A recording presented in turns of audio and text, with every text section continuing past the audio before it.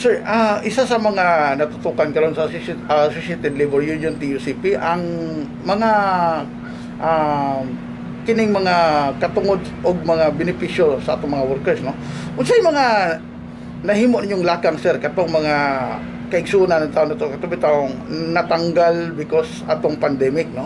Unang-una ah, dako tong pabor sa mga hutong sa mga negosyante o sa atong mga employer because unang-una na sila rason nga pwede nilang tanggalon. Pero, dili man ura-urada na nahimong um, na nahimong naging bangkarote ang ilahang kumpanya because ah wala pa man pod nahuman ang tuig. Nga di sa gipatuman ang tanang mga ah, protocol sa pandemic during that time. So naguna-una na sila. Kay para doon na sila imong alibay sa gobyerno nga kung questionan sa, sa Department of Labor Employment and LRC nga doon na sila gitawag na to nga dakong dakong impact gatubag nga dakong rason labi na sa mga length of service ato mga benepisyo pangkuhaon sa ato mga trabahador unsay mga nahimong extended nga mga tabang ninyo ani sir Actually, uh, niadtong panahon yun sa kakusog sa pandemya, ang atong ginahimo is that uh, daghay ng duol sa ato. Daghay ng duol din sa ato nga mga uh, sa mamumuo para mangayo og tabang. So ang atong ginahimo is that giasistihan nato sila kini uh, dito sa NLRC pero during ni tamang god ang ato pong uh, NLRC uh, aduna pud siya mga protocols health protocols nga ginasunod. So that is why medyo naglisod kita sa pagtabang ni mga hutong sa mga mumuo nga gitanggal sa ilang trabaho tungod lagi aning pandemya. Pero atong mahinumduman ang naapektuhan lamang niadtong mga ah, pagkusog yun sa pandemya ah, yes ang mga service ah, establishments. Mm-mm. pananatan hotel hotel. no? Ah, sama sa atong alo hotel. Mm. ang atong mga trabahador din ni ah, atong giswelduhan sila ah, sugod atong pag su- sugod yun sa sa pandemya atong March ah, 2020 so pagka human ato ato dahil gi-close ang atong hotel. Mm-mm.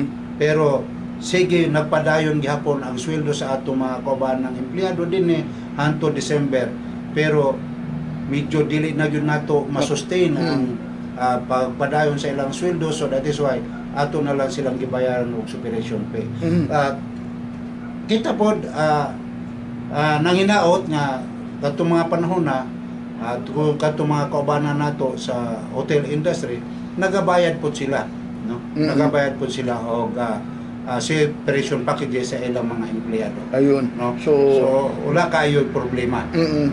So karon sir, ah, isa po na sa itong nakita karon no, ah, labi na karong panahon na nga murabag ah, isa na sa natutukan ninyo daghang nalipay labi na katong pag-file ninyo petition no, sa TUCP. Naging ah, ah, isa mo sa mga na-threat karon sa mga dagkong kapitalista nga o sa itong mga dagkong mga magpapatigayon o sa mga kumpanya nga ah, sa inyong pagsulong karon nga murag nakita na karon nga doon na mga reaksyon no. Um, kini paborable ni sa ato ang mga ah, mamumuo pero Ah, sa taon-taon na pong panahon nga murag pabor ng kanunay sa ato mga ah, employer nga nag, nag nasa lamuha nila ang mga benepisyo na unta nga ihatag unta ni sa ato mga mga workers. So sa inyong tanaw sir nga mamahimo ni siyang ah, mabulokon o mamahimong malampuson kining inyong gi, gipakikibaka karon alang sa katungod sa atong mga trabahador sa pag-file sa inyong petition. So 101% uh, kaundo nga inani ang ah, inyong panglantaw. Ang atong panglantaw karon no ah, ah, ah, sa atong ah, pag-file og ah, ah, petition for which increases sa ah, lain-lain nga mga rehiyon sa Pilipinas. Ang atong gilantaw nini mao ang pagsabot sa atong mga ah, counterpart sa employers group Mm. nga ila usab ah, masabtan nga nagkinahanglan usab og ah, dugang nga suhulan ang ato mga mamumuo mamumuo. Again ah, dapat unta 2019 pa no? Ah, 2020 ah, 2019 or 2020 ah, na aduna nay ah, wage increase ang ato mga kawan ng mamumuo. Kay nakita na ni atong mga panahon na nga nitaas na nagsugod na pagtaas ang mga presyo sa lana ah, sa kalibutan sa tibo sa kwan sa laing-laing ah, lugar sa kalibutan nga kundi gikan ang lana nato fuel o dito na biti na ang sweldo sa mga manggagawa while ang ah, ang mga palaliton nag-anam-anam siya og kataas so yes again ah, normal na no? normal na sa mga ah, employers nga mag-react sila nga ah, mo kini ah, ang usual nilang ah, response pag abot niya na nga mga ah, petition sa wage increase mingon sila nga daghay magsarado nga mga kumpanya. Atong hinumduman ni adtong 2018 ah, ang Davao ang pinakadako nga gi-approve nga wage increase. 56 pesos to no? Ah, 30 pesos sa first tranche o sa katong August August ba to? October then February of ah, 2020 nag-increase og additional 26 pesos so pinakadako pero atong nakuanan diri sa Davao ah, region wala may nagsarado nga mga kumpanya O, no?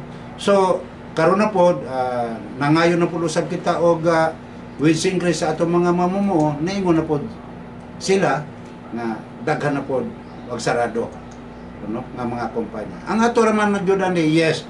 Again, nasabtan nato ang ah, sitwasyon sa atong mga counterpart sa employers group. Pero ato pong again hinumduman nga kinahanglan usab nga ah, ang atong mga empleyado, ang atong mga mamumuo dapat produktibo pinaagi sa paghatag nato og dugang nga suolan or benepisyo. Og dili